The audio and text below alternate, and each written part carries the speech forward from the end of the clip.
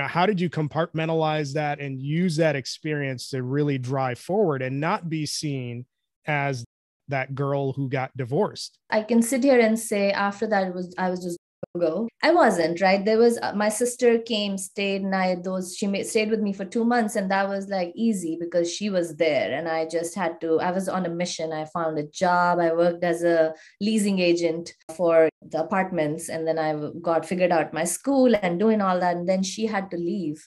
And I dropped her off at the airport. This is such a vivid memory. I was driving back I was, my eyes were so filled with tears that I could barely see the road. So I had to pull over and I somehow managed to get home. And I remember sitting on the bathroom floor and I called my manager, I can't do this. And she knew everything. And I was like, I'm, I can't come. I'm not coming in. Maybe I should just go back to India.